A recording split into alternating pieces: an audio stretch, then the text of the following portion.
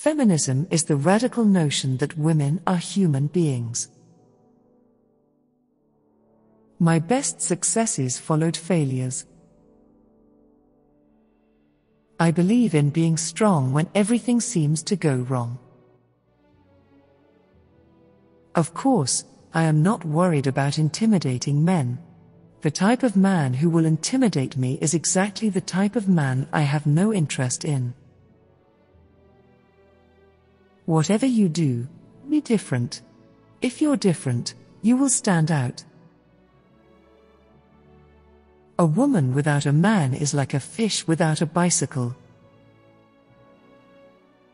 No one can make you feel inferior without your consent. No woman gets an orgasm from shining on the kitchen floor. You educate a man, educate a man. You educate a woman, educate a generation. A feminist is anyone who recognizes the equality and full humanity of women and men. None of us wants to be in calm waters all our lives. Women have always been the strong ones in the world.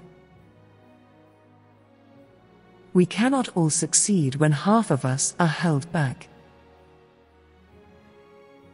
We need to reshape our perception of how we view ourselves. Likewise, we have to step up as women and take the lead. If you want something done, ask a busy person. If you want something said, ask a man. If you want something done, ask a woman. The thing women have yet to learn is nobody gives you power. You just take it. The truth will set you free, but first, it will make you miserable. The question isn't who is going to let me, it's who is going to stop me. I love to see a young girl go out and grab the world by the lapels. You know, I have never met a woman who is not strong. They don't exist.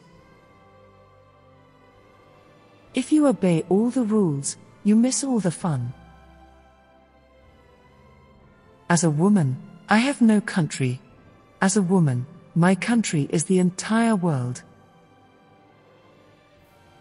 Think like a queen. A queen is not afraid to fail. Failure is another stepping stone to greatness. The best way to succeed is to discover what you love and offer it to others. Your words are the greatest power you have. The words you choose, and their use, establish the life you experience. I hate men who are afraid of women's strength. The most courageous act is still to think for yourself. Aloud.